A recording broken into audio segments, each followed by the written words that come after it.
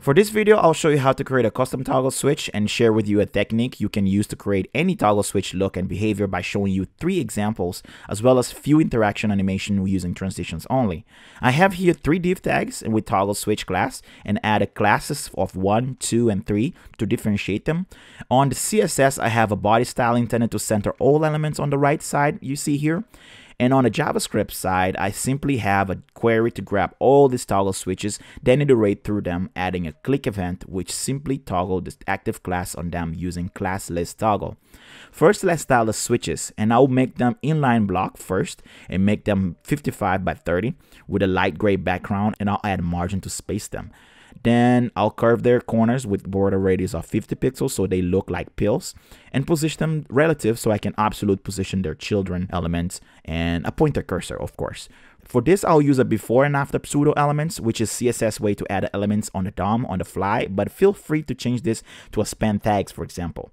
I'll add comment style to them so both has no content and are positioned absolute 5 pixels from the top and I'll make them dark gray and 20 by 20 since the toggle itself is 30 pixels high and if I want 5 pixels gap on the top and bottom this need to be 20 by 20 Finally, since width and height are the same, I can just add border radius of 50% to make them round. Let's work with the first switch toggle. I'll position the first circle 5 pixels from the left and make it green and then position the second circle 5 pixels from the right.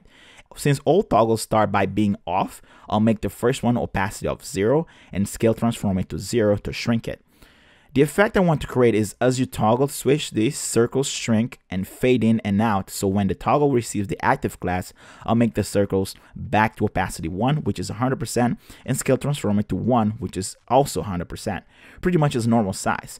And I will do the opposite for the second circle, which is scale it down to 0 to hide it with opacity of 0. If we try this, we see the switch, but because everything is happening at the normal speed, we do not see what's happening in details. And because I have two states, I can use transitions to slow things down a little, and for both, I want to transition the opacity and transform since only those two things change. And if we try now, it works nicely. Now to the second switch, I do not need a second circle, and since it starts by being off, I'll position the first circle to the right, so if the circle is 20 by 20 and I want 5 pixels gap on the right, that's total of 25 pixels. So I subtract that from the parent width, which is 55 pixels, and I am left with 30. So I'll position it 30 pixels from the left. And when it receives the active class, I position it back to 5 pixels from the left and make it green again. The reason I use only the left here is so I can easily transition this left value for an animation effect. So I copy the transitions over and change it to left and background color since only those two values change when active and we get a traditional switch toggle effect. Pretty nice. For the final toggle, I'd want to do something different. So I start by removing background on both circles and make the color same as the parent and center things with display flex. And then I'll give them content. For the first, I'll make it say on, and the second, I'll make it say off. Then I position the second circle on the right and the first on the left. And I will also change the font and its size so it's much better looking. And with that, I'll temporarily hide them with display none. That way I can work on a second part, which is the background. So I start off by giving a linear gradient to the toggle switch and 90 degree, which is same as left to right with three color stops. But I don't want the colors to fade into each other. So I'll make three hard stops.